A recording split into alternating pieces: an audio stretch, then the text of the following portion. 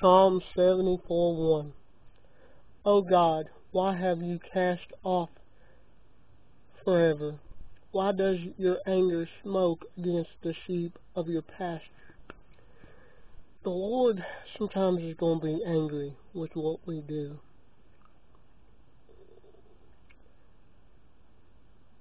But we always need to accept, and He made a way for us to receive forgiveness. And that's Jesus.